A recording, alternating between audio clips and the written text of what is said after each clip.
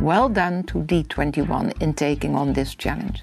This is a great initiative, and I look forward to learning from you and from your new report.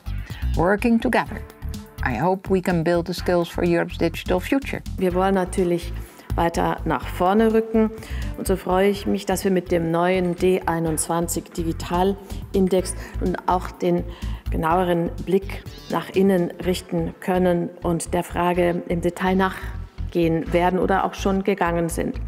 Man kann nur das managen, was man auch messen kann.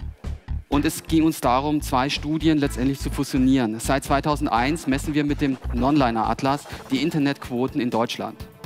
Wir messen daher, wer ist online und vor allem, wer ist offline.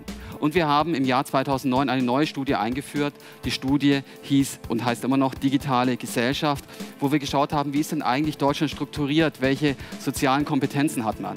Insgesamt große Stichprobe, 30.000 Interviews für den Onliner Atlas, knapp 4.000 Interviews für den D21 Digitalindex.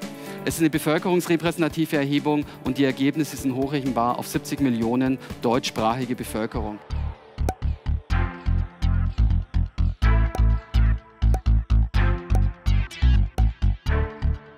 NRW ganz vorne, danach Bremen, Schleswig-Holstein, den Platz 4 teilen sich Bayern, Hessen, Rheinland-Pfalz, Niedersachsen, Berlin, Baden-Württemberg, dann geht es einen Dip runter in das Saarland, dann geht es einen Dip runter nach Hamburg und dann haben wir alle auf einem Niveau die ostdeutschen Bundesländer und am schwierigsten sieht es momentan in Sachsen-Anhalt aus. Wir sehen auch hier den Unterschied zwischen Männern und Frauen, 55 zu 47. Wir haben nach Altersschichten geschaut, wie kompetent ist man denn eigentlich? Und am kompetentesten sind nicht die 14- bis 19-Jährigen.